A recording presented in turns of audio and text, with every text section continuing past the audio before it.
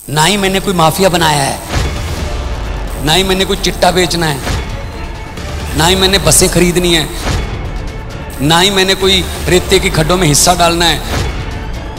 हिस्सा डालना है तो लोगों के दुखों, दर्दों में डालना है। बीजेपी वालों को पूछना, जब वो अकाली दल में थे, अब जेलों में गैंगस्टर जो है कौन पालता था?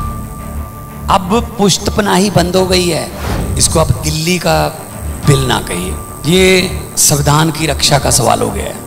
लोकतंत्र बचाने का सवाल पैदा हो गया। लोकसभा में बिल पेश हो रहा, जब जिस दिन हुआ। हमारे माननीय गृह मंत्री जी बोल रहे थे कि जो दिल्ली है, ये विधानसभा भी नहीं है यूटी भी नहीं है। अगर दिल्ली विधानसभा नहीं है तो 2015 में किरण बेदी को मुख्यमंत्री का उम्मीदवार क्यों लाना था? जब विधानसभा ही नहीं है, मुख्यमंत्री क्यों होगा फिर वहाँ पे? अगर दिल्ली विधानसभा नहीं है तो गृह मंत्री साहब 2020 में डोर टू डोर पर्चे क्यों बांट रहे थे वोटों के लिए? इलेक्शन करवाने की ज़रूरत क्या है फिर? और इतने बड़े मैंडेट से चुनी हुई सरकार, उसको आप काम नहीं करने दोगे, वो फैसला नहीं ले सकते।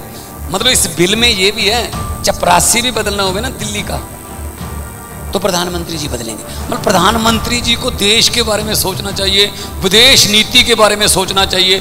बड़ी बड़ी प्लानिंग्स बहुत बड़े बड़े काम हैं। दिल्ली के चपरासियों को तो छोड़ देना वो।